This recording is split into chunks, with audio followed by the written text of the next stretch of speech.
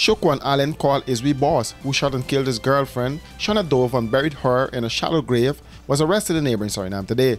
This comes some two years after he skipped the country and was hiding out in Suriname. Reports coming out of an online news agency in neighboring Suriname indicated that Allen was identified and arrested following a thorough investigation. He was handed over to the police for arraignment. The wanted fugitive will be handed over to the Guyanese authorities according to the procedure of that country.